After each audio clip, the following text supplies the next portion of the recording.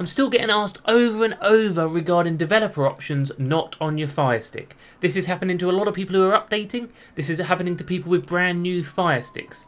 So real quick solution for it. First thing, hit that subscribe button. Then we're going to do it couple of minute video, no messing about. So, as simple as straight over to your settings icon.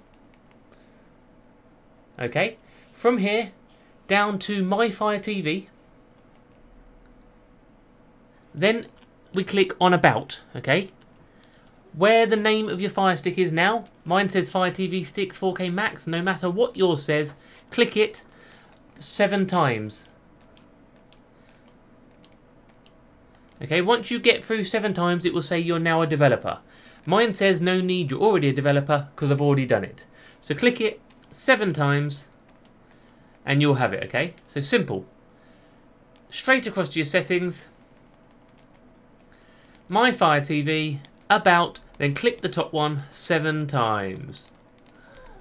Brilliant. Real quick video tonight. Just wanted to get that one out there again because people keep asking. Hit that subscribe button, drop me a comment, and I'll see you soon.